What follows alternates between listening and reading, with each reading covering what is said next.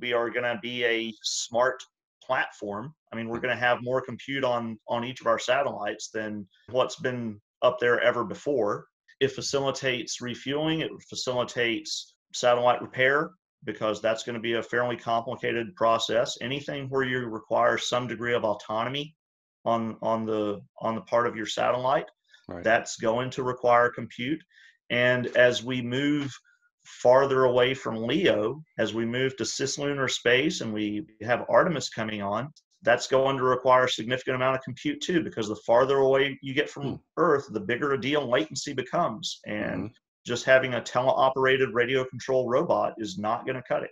Welcome back to the Cold Star Project, the podcast about the unexpected challenges of scaling companies, including space firms. I am here with Richard Ward. He likes to be called Rick, and he is the founder and chief technical officer of a company called OrbitsEdge. He's a past Marine. Uh, I was interested in seeing that he was DSI's production manager and P, uh, chief lab researcher and uh, like in Orlando. Yeah. Oh, okay. He comes at it sideways. He he didn't have the degrees and stuff like that. It's uh I was like, damn, I'm real curious about how he got that role. Maybe we'll talk about that later. We've had a good chat here for uh, uh, quite a while before we started recording. Uh, thanks for being here, Rick. Uh, it's a pleasure, Jason. It's uh, I've been checking out your podcast for the past uh, few weeks, uh, about a month, and I've really enjoyed your content. Cool. Cool. Why don't we begin with talking about what OrbitsEdge is? Because it's a, it's a company, it's a relatively new company, I believe, but it is getting recognition by NASA and other space organizations. Yeah, so we're pushing on a year old, and our company is built around a technology we call the SAT frame, which its purpose is to provide an environment that allows commercial off the shelf data center grade computers to operate in space, uh, taking into account the radiation, the thermal, and the power management systems that are needed to do that. So we're we're providing that home, and to go with that, our first move is a partnering with HPE, so that we can put one of their uh, micro data centers in in the sat frame and that in space, and provide edge computing in orbit. Okay, now I got to ask the big question what the heck is edge computing and how does that apply to this situation? Okay, so edge computing, uh, there's a ginormous definition on Wikipedia, but the long and short of it is doing your processing as close to the point of data origination or collation as possible. So wherever the data is, that's where you crunch it the first hmm. time. Mm. Okay. So if you're if you're operating in a mine, it doesn't make sense to have a fat pipe to move everything to the nearest city so that you can do the processing. Hmm. It makes a lot more sense to have at least some degree of processing capability right there where you are so that you can at least take care of the vast majority of it before you send whatever whatever you need to archive on down the line. And that's really that's a technology that's come out about it's it's around 30 years old at this point. Mm. Uh, the concept and and the the effect of data of edge processing, and we are working on putting it in space. So it's new and it's also not new. Okay, but currently, no edge computing capability in space right now. There is none. There's actually um, when I first got into the space industry, I was kind of surprised to find out what kind of compute exists in space today. Mm-hmm. Uh, one of the popular processors today is one called the RAD 750. It's uh, based on the PowerPC 750, and that is from the 90s. Uh, the RAD 750 came out in like 01 or 02 and it's running a 200 megahertz processor and that is what's going to be on the mars 2020 rover. So it's not like that was being used 10 or 15 years ago it's being used today. Now it has a very special use case where it has to operate with very low power consumption for 20 years. I mean it had those things are designed to live forever. Right, i mean right. some of those things are going to be around 100 years from now. They are limited in what they can actually offer so if we can do something that has orders of magnitude more performance in compute, but has like a say a three-year life cycle, then we can we can get ahead. We can move we can move the ball forward on that. Okay. Well, it sounds like we're at least a little bit ahead of MSCADA and PLCs uh, with this stuff. So, what, Yeah. what, what has that meant that you've needed to develop as technology so that OrbitsEdge can fulfill this mission? Okay, so we've had to develop some uh, very interesting IPs in order to make this work. Uh, since you're putting so much power, okay, since you're doing so much compute, go at it from the from the end result. All that compute means you need a lot of power. All that power means lots of solar panels. hmm It also means lots of batteries because you've got you're only in daytime half the time. And since you're in the dark half the time, that means even more solar panels to power the batteries. Power management has already been done. That's not a brand new thing that we're tackling. Uh, but the other side of it is that much power into a computer means that much power is going to be converted into heat.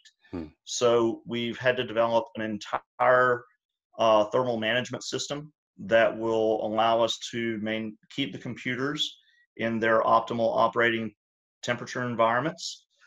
Uh, in addition to that, we've had to develop a, so- a software stack that goes on top of the compute that comes into us, uh, uh, on top of our computers, that will help to keep the temperature range uh, within optimal characteristics and also detect and deal with radiation events because what we're doing is we're developing technology that will mitigate it's it's it's mitigative shielding i guess it's uh, shielding that takes that absorbs some of the radiation but it can't absorb all of it because that gets prohibitive there's types of radiation um, iron ions are incredibly energetic and stopping them is is not feasible uh, with with mass constraints that we have. So we've developed software overlays that will detect and protect the mechanism from damage. So that's that's one that those are basically the things that we've had to develop, and all that is is IP stuff that we are uh, we're pursuing IP protection strategies. That some of it involves patents and some of it involves uh, just squirreling it away. Um, but yeah, we're that that's that's the stuff that we're working on developing right now. Okay. Very, very interesting. And that the protection stuff is, is of interest to me too. Yeah, Maybe we'll have a little chat about that after. So, love that. So your, your past experience includes uh, metalworking. I, I ran a metal fab shop for a couple years back in Vancouver. Uh, you were doing some custom stuff and that, and then also lab research at DSI, which um, again I'm super curious how you landed that role. Uh, and a lot of this feels like physical, working with your hands kind of thing, hands-on anyway, at least, right? And so why a computing-focused business rather than a physically focused one? Okay. Um, feel like there's a couple or three different questions in there. So how did I end up in DSI? Uh, I met I met Stephen Covey, who was one of the original founders of of DSI, at a uh, asteroid talk at a convention, and I talked to him. At the time, I had I'd been writing a uh, science fiction novel that featured asteroid mining, and because I'm a bit obsessive on getting things right, I had done lots of research in a topic that was very hard to do research in. And I was able to talk to him, and he thought that I wasn't uh, too terribly off on my stuff. So he told me that he that they were looking at opening up a new branch in Orlando, and I maintained contact with him. Uh, that happened, and I ended up working there for two years. And we did work with asteroid regolith simulant, Mm-hmm. which uh, so there's a, not a lot of asteroids that you can chew up, grind up, and crush and burn because they're kind of expensive, or at least the non-metal ones are, the non-nickel irons are. So we were making high fidelity simulant, and we had to go through various recipes and uh, concoctions and figure out how to combine terrestrial materials, minerals, to get stuff that acted and behaved and was as close to the real stuff as possible for research purposes. Mhm. And I was involved in that and uh, also involved in some research on that. Uh, I ended up, I ended up having to weld a bunch of stuff. I had to do a lot of metal fabrication to to alter or fix or build uh, pieces of equipment that we needed. So yeah, it was uh, it kind of it's weird. Everything I've ever done has somehow ended up drawing on my past experiences. So it might not touch everything, but uh, something that I've done in the past has always come back to be useful in the present. Hmm. Yeah, I I feel a similar way about that. Okay. Um, I feel like I only answered one of those. Yeah, yeah. So why a computing-based business then? So you had the physical background, and then now this this thing which looks uh, not out of character, but a little different. Um. So that probably, as part of my novel, I had looked at some sort of generic compute modules that could grow and scale and be backwards compatible to a hmm. reasonable degree and advance into the future because that's how I imagined things should be. Then I get into the real space industry and find out that is not the way things are. Huh.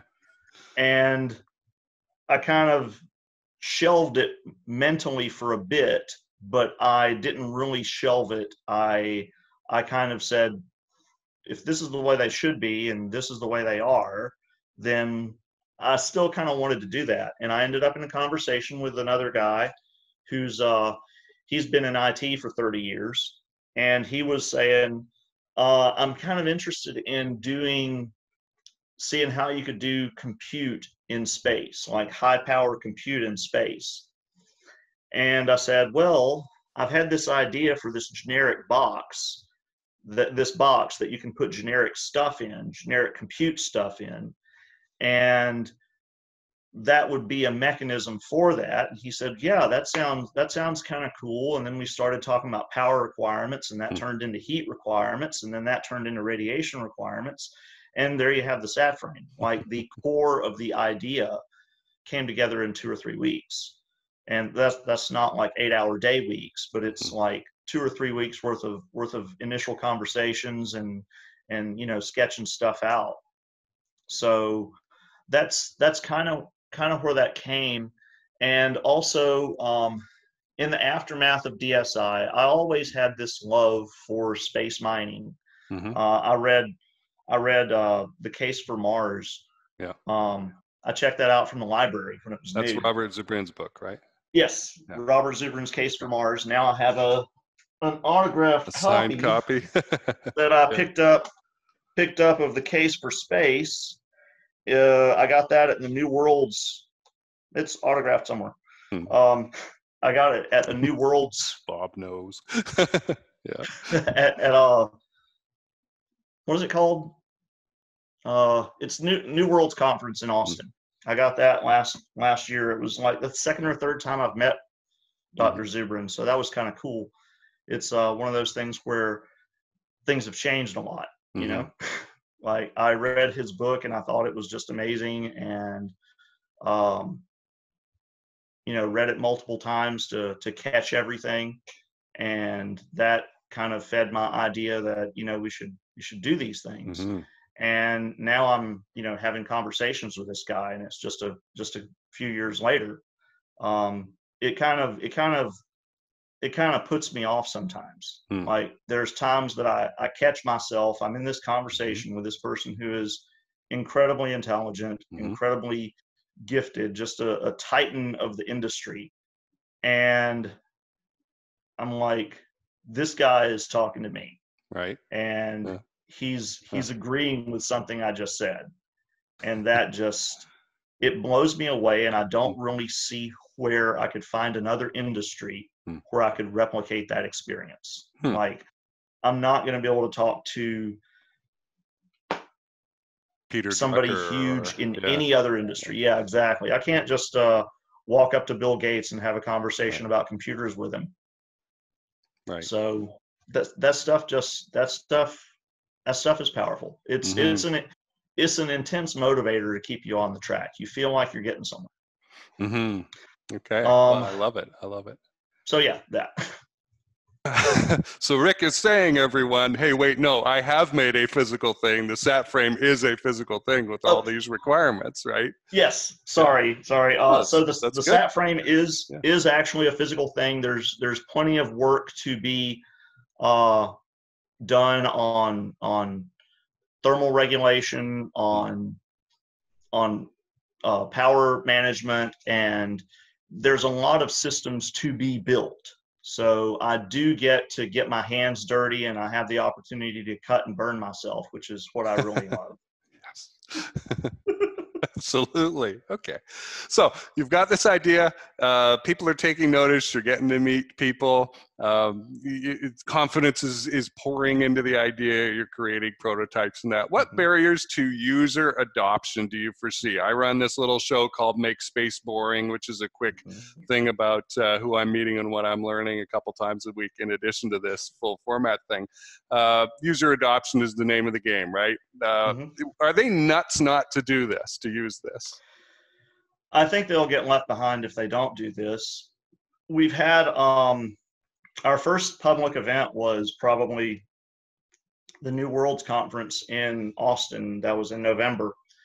And at that point, a lot of the NASA folks, a lot of the space folks were not really immediately grasping the utility of edge compute in space. Like, what can you do with powerful processors in space? Who is your customer? What is your use case? And you know we had to lay that out for them and and this was you know six months in so our cases were not as sophisticated and as well laid out as they are today. Uh, i'd like to say that that's that repeats itself in six months as well because uh, you always want to be growing you always want to be learning you always want to be coming up with new stuff. So we had to really explain to them the utility utility of it and then recently like a month ago we went to um, an, a NASA event in Tampa, and we talked about that, and the response had really advanced. Uh, people were, you know, regular NASA folks were saying, "Oh yeah, this is essential. Uh, we need we need this piece of infrastructure. This is something mm-hmm. that we're lacking." It had gone from what is the benefit to this to yes, please. Right. And that's really I think everybody in the space industry has had to undergo some sort of an internal paradigm shift over the past six months, maybe. Hmm. Uh, I'm seeing I'm seeing a lot more a lot more optimism for the future. I'm seeing a lot more willingness to entertain big plans than I was a year ago. Uh, there was stuff that you could have said a year ago that would have not gone over well. And today, uh, very serious people are talking about it, and they're they're writing papers on it, and they're seeking funding on it, and funding is getting released for for things that were Buck Rogers just a little bit ago. Hmm. Interesting culture shifts and, and optimism and that. And uh, huh, it, it's being able to say stuff that would be laughed at or or dismissed a short time ago is, is yep. really weird. Yeah, it's, it's like a strange thing. So let, us talk about those customers and what they're going to get out of having uh, OrbitsEdge technology up up there. Uh, beyond data transfer and speed to insight, we have a data science department, so that stuff's important to me. What other savings or advantages will customers experience? So part of it is what we can do in terms of analytics of space data. A lot of that is going to be Earth imaging, and that moves into multispectral and uh, multiple images over time. Those are some of the greatest amounts of data that are generated in space. So those, uh, in those cases, we can better utilize the observational assets to to have basically better quality data down. We can perform analytics to, to not only assess quality of the images and throw out bad ones, but also find out uh, patterns that are of interest to the user. Uh, there's a very simple version, a very simple description of a process that we could do. Uh, as you go over the ocean, most of the ocean is ocean. and a very small fraction of that is ships and whales and uh, oil slicks and mm. things that are of things that are not ocean. Right. You could have a relatively simple AI that sorts those things out mm. and sends down everything that's not ocean. Uh, mm. And along with perhaps uh, metadata about the ocean that it does pass over. Right. So in that case, you would have a you would have a lot of data that is of use, of mm. potential use, and you would not have the data that is essentially lots of noise. And you would even right. get some data about that data, which would be uh, very useful. Hmm. Now, in addition to that, we can do things like run AIs and we can do machine mm-hmm. learning. Uh, we are going to be a smart platform. I mean, we're hmm. going to have more compute on on each of our satellites than than what's been up there ever before and we can utilize that capability to improve the efficiency of our own operation as well as for other people. And this allows things like uh, it facilitates refueling, it facilitates um, satellite repair because that's going to be a fairly complicated process. Anything where you require some degree of autonomy on on the on the part of your satellite Right. That's going to require compute. And as we move farther away from LEO, as we move to cislunar space, and we we have we have Artemis coming on, mm-hmm. that's that's going to require a significant amount of compute too, because the farther away you get from mm. Earth, the bigger a deal latency becomes, and mm-hmm. just having a teleoperated radio control robot is not going to cut it. Yeah, and that is something that people are quick to forget. Um, by the time we yeah. get colonies on Mars, it's going to be back to the age of telegraph again. It is. Uh, it is. It's going to be. It's yeah. going to be carrier pigeon. I mean, I can send a video to you, and then later in the day, I'll maybe have one back. Right. Right. It ain't going to be this way, folks. You can't afford to be second best. You need to be first, and that requires speed. Now, if you're thinking that growth is supposed to be slow and steady, frankly, the way I was taught back in the 90s in the operations management and business administration programs, you are too slow. We have to adapt. And in space, it's no different than anywhere else. People like to think they're special in space, and it is fun, all the stuff we get to work on, but business is business. The fundamentals nowadays are conservative growth is not good. You need to run as fast as you can and risk outstripping your supply lines, which means in our world, using up the capital that we've got. That's a risk. But there is no prize for second place. There certainly is no prize for third. If you want to scale operationally fast, come talk to us at Cold Tech. We are the process experts for scaling fast. Now back to the interview you mentioned the word infrastructure. I just want to pop out and say this a, a little bit ago, and that stood out to me. That the um, YouTube video version of this show uh, has there's not only the giant list of 100 and blah blah blah episodes. There are smaller playlists of uh, focused episodes. So there's one for infrastructure. There's one for space, space and small sats. There's one for sales and marketing, for example. And so you you don't have to sort through 100 episodes to get what you want. You could go to uh, the Cold Star Tech YouTube channel and look for a playlist. So that may help some listeners out in finding areas of focus for them. Um, let's see, I was business development manager long ago and far away for an IT firm. And uh, a lot of what we did was custom coding of bridges between two different softwares, like an inventory management software and an accounting software, because customers would come to us and say, damn, oh, what got shipped wasn't what got billed. And now we have upset customers. In that right? Yes. And you build something in the middle so that these things can talk to each other.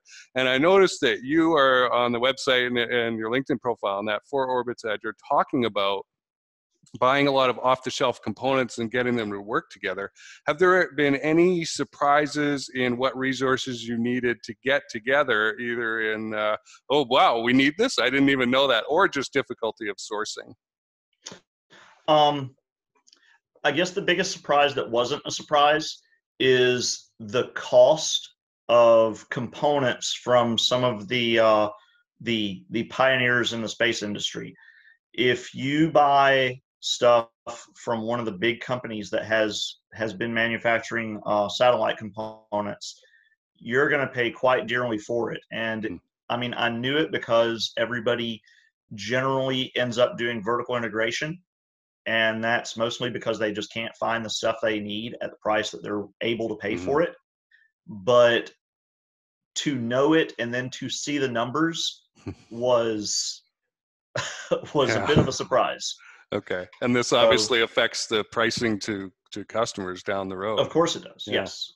And that's that's um when you're doing fundraising and you have to do a raise to get Mhm. off the ground literally if you say and we only need a hundred million dollars to get off to get one satellite off the ground then that is the end of your that is the Right. end of your business model your your Yeah. science experiment just died Huh. but if you can uh, intelligently source things that are going to work and are you know serious value adds uh, buy what you have to build what you can and have an eye towards improving or increasing verticality farther down the line Mhm. um, then you can get those numbers down to where they're manageable where an investor can can not have to pick his jaw off the floor when you tell him what what you're needing and they feel that this amount is a reasonable amount in exchange for what is offered this Mm-hmm. Right. is not impossible Right. So, Yeah, and yeah, I imagine there's a, a return of uh, each. The first two, three satellites are incredibly expensive uh, to get up there, and then after that, there's a reduction. Uh, I would imagine. there's there's a certain amount to that there's also the fact that while we will not achieve uh, global coverage obviously with two or three satellites hmm we will have some degree of usability Right. And each So- time you you launch, you're incurring that launch cost again, and the risk of getting them all blown up in, in a launch failure. Uh, how I many how many satellites are? on- you- i believe you did an episode on insurance recently right. Yep, yep, with Bob Weirdy. Yeah. Um, yeah. So, so how many satellites are you thinking about here, at least for the first batch of them up there, and, and getting something that works? so we're actually wanting to do two prototypes uh, Mhm. because in order to put one in space you have to build two hmm and in order to put two in space you need to build three Yeah. and the difference between two and three is not as significant hmm as zero and one so that's that's kind of our goal also that would allow us to do uh, more communications between the satellites and test out our model that much better. Uh, it'll be that much more well redundancy is always a good thing. Hmm so once we get into our constellation model, that is about 24 birds to achieve uh, total global connectivity. And from there, it's a matter of scaling out to improve uh, as we go, as we get better saturation. Uh, I know, I know some of this sounds like you know Wi-Fi for everybody, but it's not. It's it's a matter of being able to interface with satellites that are in the air and ground stations that are sending up um, so that we can have coverage on that. Mhm. From there, it's a matter of uh, expanding to meet customer needs, customer requirements. So that's that's a thing where we are expecting to have to expand fairly rapidly as as our um, as our processing capabilities get saturated. Right.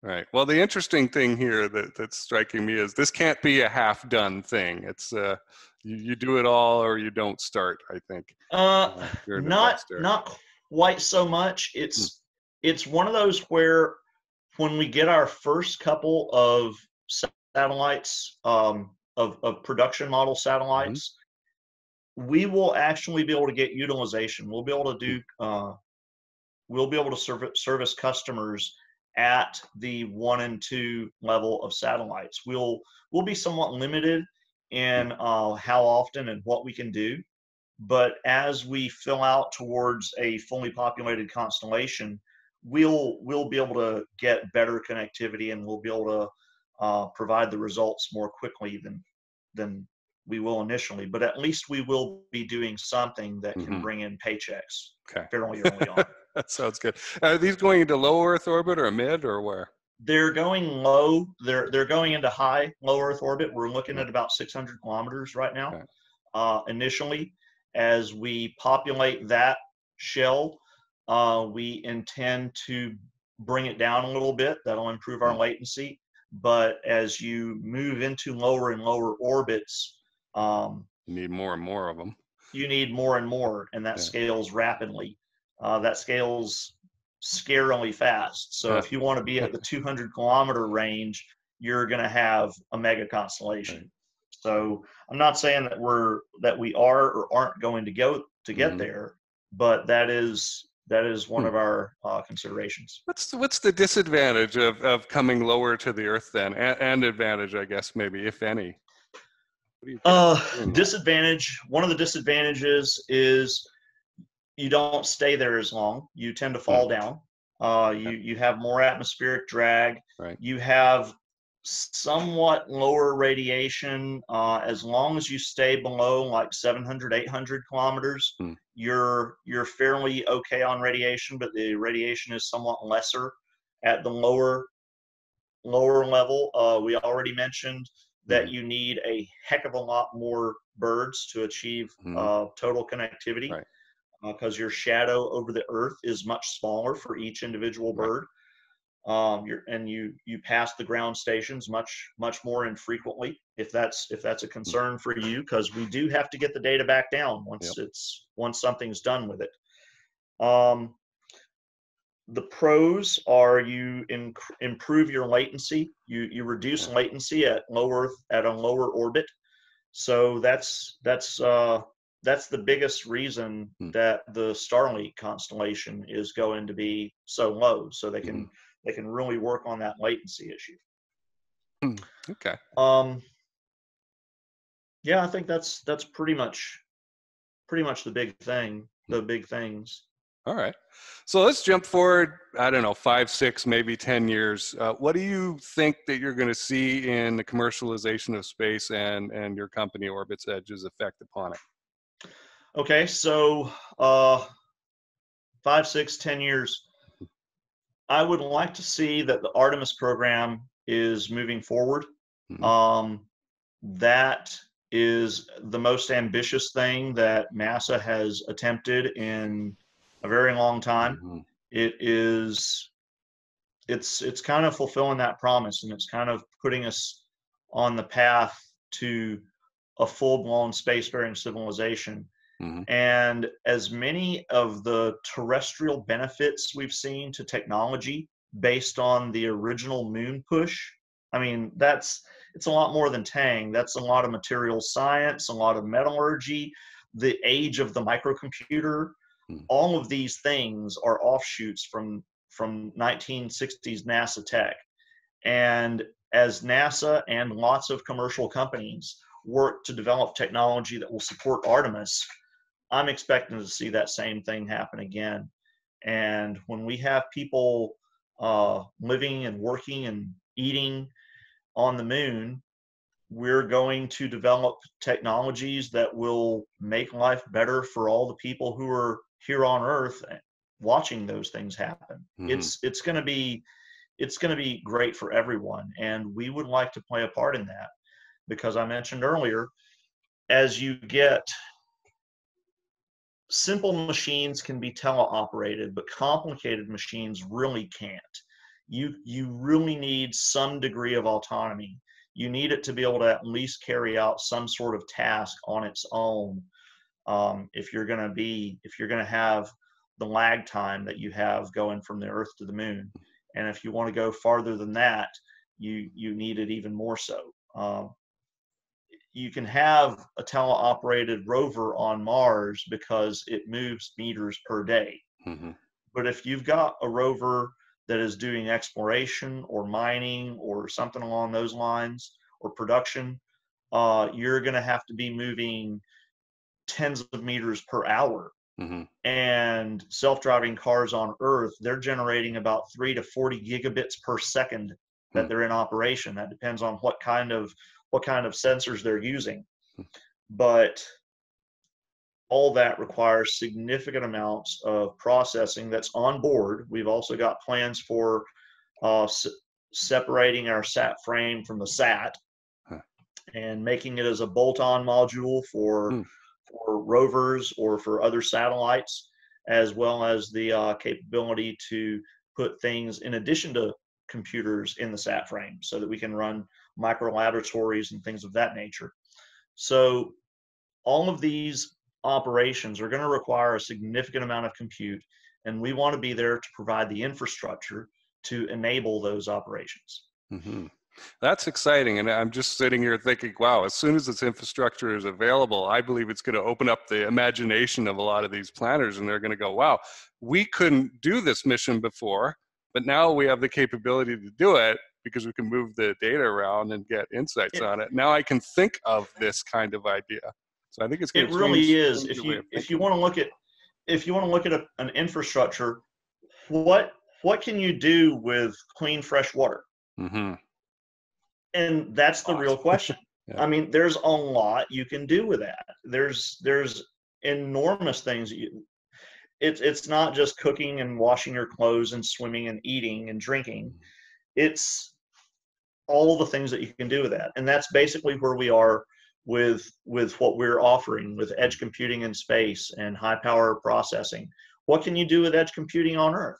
There are hundreds of different use cases where edge computing is is in operation every single day and you don't realize it. Right. Makes makes a lot of sense to me. So, Rick, where can people connect with you, find out more about OrbitsEdge, get involved? Well, we have uh, orbitsedge.com. We have our Twitter and our LinkedIn with same names. Uh, we we tweet fairly regular. We're on on LinkedIn pretty regular, and there's also my LinkedIn. You can talk to me there. Um, Remember to I look for Richard Ward. yes, yes, Richard J. Ward on LinkedIn. I tweet somewhat less frequently. Uh, I believe uh, we also have a YouTube channel. Um, I believe the logo is this little guy, hmm. or at least a version of this little guy. This is a model of our SatFrame. Lego dude, not to scale. it's actually more uh, the this and this would be the same size roughly. So this shows our solar panel. It shows that we've got lots of solar capability. Uh, this is our radiator panel, and here's where our compute module goes. This is an engine. Uh, it'd mm. probably actually be on the other end, but I need I, I needed a mounting point, and it has communications. Huh. So it folds up.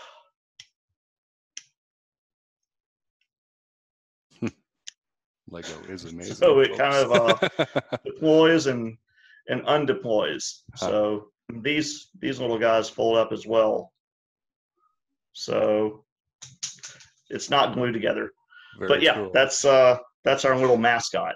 I will in the audio only version of this. I'll try and remember to put in a link or two to a couple of still pictures of that. And if I forget, okay. somebody tell me. Okay, just message me at jason at coldstartech.com and say, hey, you forgot to put the pictures in there, and I'll do it. All right, Rick. Well, I appreciate you being here today. My guest has been Richard Ward from OrbitsEdge. Uh, pretty neat new idea. I look forward to seeing what you do. Uh, I've really enjoyed talking with you today. Uh, thank you for the opportunity. And I'm looking forward to talking to you again as we're a bit farther down the line. And maybe uh, maybe the thing I can show you is a little bit a little bit different than this. Right on. Hey, this is Jason Kanigan, the host of the Cold Star Project and the founder of Cold Star Technologies. I've decided to do something new. I've started doing daily update videos on who I met and what I learned the previous day in the space field. And it's a great sort of follow me thing. You can learn what I learn. I'm meeting a heck of a lot of people and learning a lot of things really fast. And the space field is really disparate. There are tons of nooks and crannies to go into and explore from legal, operational, you know, regulatory, compliance and gosh, the end customer. Who'd have thought about that, right? So you can sign up for this if you go to coldstartech.com slash MSB, that's short for Make Space Boring, the mission we're on, then you can sign up and in your email you will get a daily notification that the new video has been posted I'm also thinking about doing some branded mini courses and summarizing papers as uh, I'm able to. So those will be some goodies that are in there as well. So if you're interested in that, go to coldstartech.com slash MSB and join us on the mission to make space boring.